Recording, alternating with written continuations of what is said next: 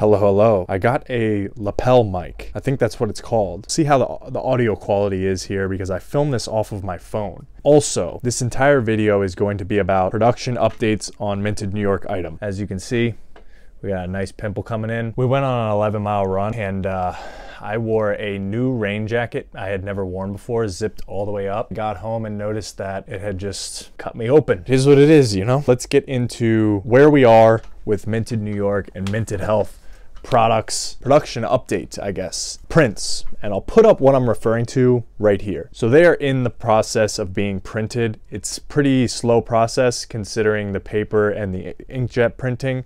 Plus, I'm not the only one that the print shop is printing for. All that into consideration. They're moving extremely fast. I think that'll be done next week. Then it becomes how do we ship them in the most efficient manner? Can we ship them internationally? A lot of people ship prints by folding them into a tube. I do not want to do that. I'm going to ship these prints. They are 20 by 24 prints. They will be shipped flat, protected, um, and I think that's the best way to maintain their quality. We didn't cheap out on paper, we didn't cheap out on printing, so I'm certainly not going to ever cheap out on shipping. Rolling it feels wrong. Sure, it would be okay, but it feels wrong. That's those are the prints. That's where we are at. Jackets. A lot of people have been asking about the jackets fairly regularly. Here's the issue we had. There are only a couple uh, distributors of Riri zippers in the United States. Riri being a foreign brand, you cannot buy directly from their website. When you need something in bulk, you have to go to a distributor. Luckily, I live in New York City.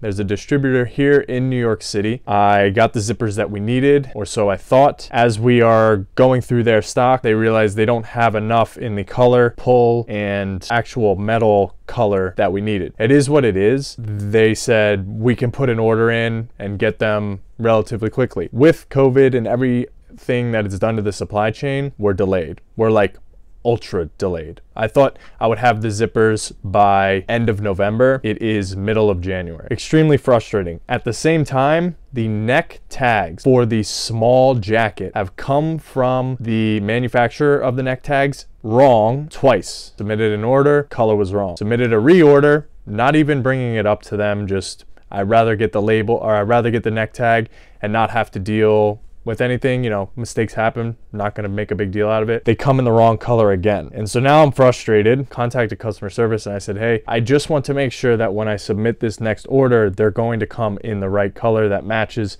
the, the medium and the large jacket neck tag color. They assured me that that is what they can do. So they are in production. Delays are, are something that I'm learning to now deal with because it seems with the Run Club hoodies, we had the shipping delay in the port. That was like the first major delay we've ever dealt with. I think that uh, as I encounter delays more and more often, we will be able to deal with them better. Um, but right now, it's it's very frustrating to me to to have to deal with delays like that because it's completely out of my control and it's not something I can just put in more time and work through or solve myself. But it is what it is. The Run Club hoodie restock. All of the Run Club hoodies are in production. And when I say all of the Run Club hoodies, I mean the colors that originally released, those. This color, which is a faded green, olive drab color and there will be a royal blue with white accent. I don't have a picture of the royal blue one yet. I should be getting a picture of the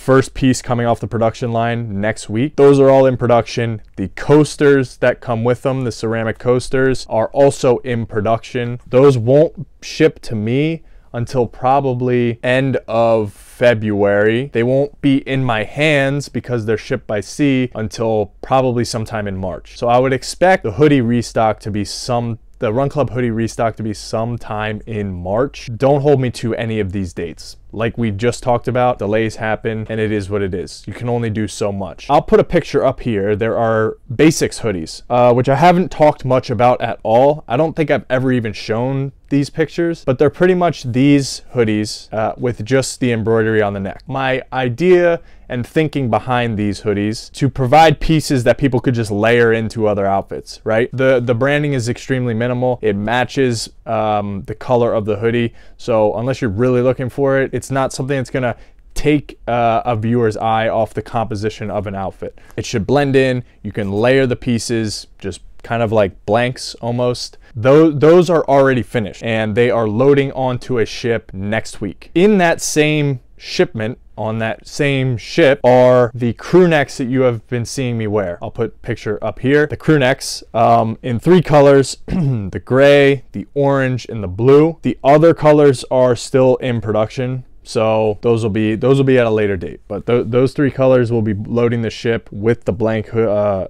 the basic hoodies the blank hoodie type deals, and those should arrive the beginning of February. It's about 25 to 30 days of ship time when they come by by sea. As we experienced with the first run club hoodies, there's a chance they get stuck in the port. It happens. I have no control over it.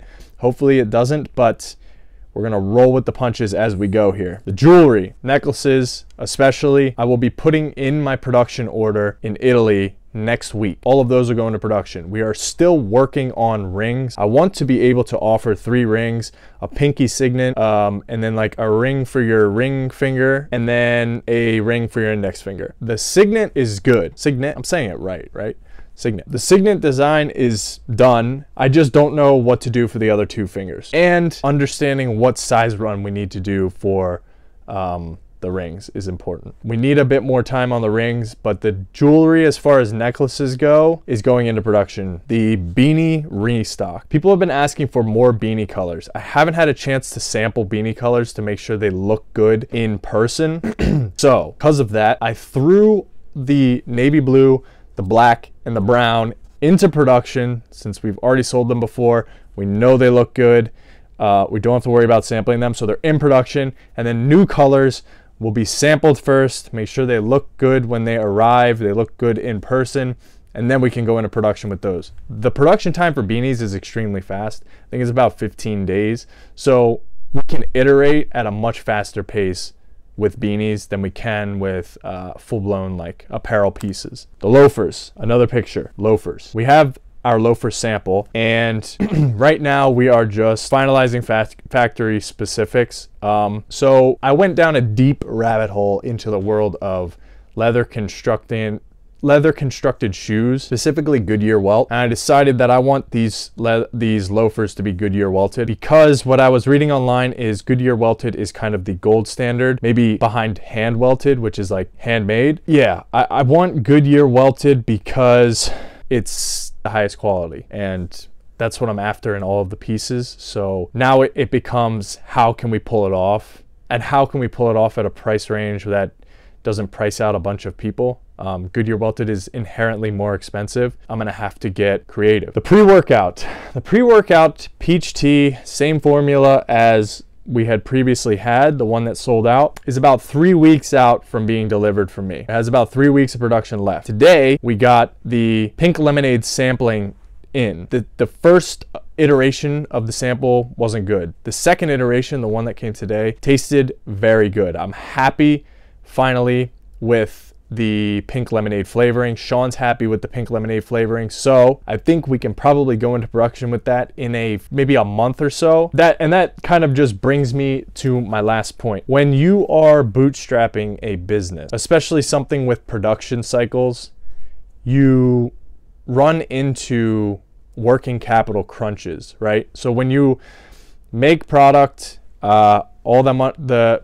generally I'll walk you through it or how it is set up for me right now. With a factory, you go in to make product. You put 50% of the total cost down to start production. And then when production finishes, you pay the remainder balance 50%. The product is shipped to you. Money is tied up for that entire period of time. Could be as long as 60 days of production. When you have a lot of different things in production, you have just tons of capital out the door. Then you get product in, you sell product. And the way I've run the business and the way I've always read to read businesses is you roll back everything into the business. There's no point in taking money out of the business because you're now putting a collar on your growth. You sell product, you roll all the money back into new production, new products, you grow a little bit, and then that continues. Well, like we're growing so fast that we have so much in production, our working capital is just crunched super hard. So there's a few um, things, a few avenues that I've explored. Obviously, there's Shopify Capital. I don't know if any, any of you know about it, but they pretty much look at your monthly sales and can offer you capital. And cost of capital can be anywhere from 8% to 13, 14%. Not not a terrible deal. You can go to like traditional lenders, banks, you can get working capital line of credit, generally what you get when you're trying to scale your inventory. Problem being, I use Chase as my business bank. Generally, if a traditional bank is going to lend you as a uh, for a working capital line of credit, they want 2 years financial statements. I started this business January 2021. I do not have 24 months of statements to show anybody. I have 12. This was my first fiscal year. So you can't it, it makes going that route extremely hard and the banks that I have reached out to have pretty much turned it down on on that information alone. Not not having two-year tax return is generally the starting point for getting a working capital line of credit. That I've run into. Maybe other people know of other lenders that aren't banks that that do them. I'm all, I'm all ears for trying to figure out how to do this. So that that's the working capital crunch. We are about a week away from signing on our first warehouse. It'll be about 4,000 square feet. Um, so plenty of enough space for what we need right now and a little bit of space to grow into. After we max out that space, which I have a feeling will be within the next 12 months, we have to look to expand.